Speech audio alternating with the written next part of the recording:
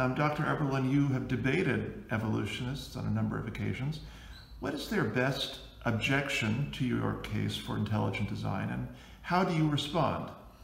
Well, David, uh, normally they don't go case by case. They don't talk about water, they don't talk about earth, DNA. They always uh, give this really general argument saying that, okay, intelligent cause is not science because it is supernatural and we are only allowed to appeal to natural causes. And they also come out with this idea that evolution has been proven by many, many articles throughout the, this more than 150 years.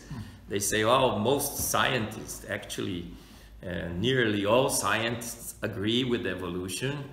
So uh, they, they don't want to go into details. Mm. The devil is on the details, mm right? Mm so they, they, they try to escape from devil. and they they only appeal to uh, uh, this consensus that they believe that science has now, that this case has been uh, decided already in favor of evolution. But I always mention that this is not true at all. What takes uh, in science for a theory to be debunked? Uh, many, many scientists many, many, many experiments. Uh, Pasteur has shown that, you know, for uh, spontaneous generation, mm -hmm. it was a consensus that those days. And Pasteur with a single experiment, a single man, a single experiment, mm -hmm. Uh, debunked uh, spontaneous generation.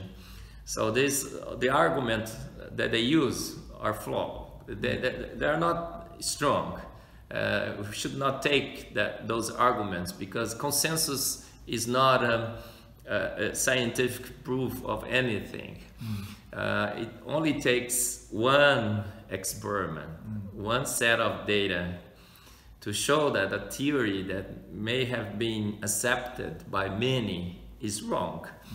So that's what we are trying to do with intelligent design. We are trying to show those guys that they are all wrong.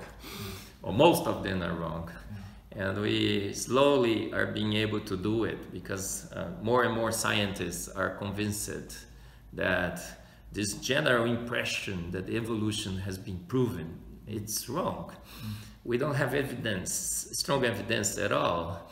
We only have this general impression that evolution is true. When we, when we go into the details, the devil is really in there. Yeah and um, when we look at the water, we look at the uh, position of the earth in the planet, the DNA, the structure of DNA, uh, the exchange of ribose by deoxyribose, the exchange of thymine by uracil, when we look at the many, many ingenious solutions that we found in the universe and life, we see that this general impression that evolution is more law than the law of gravity, as they used to say. They still do. yeah, it's just an impression. Yeah. It's an illusion. Uh, it's something that we have to uh, reconsider. And in the, uh, when data is concerned, uh, intelligent design is by far, by far the best explanation for life.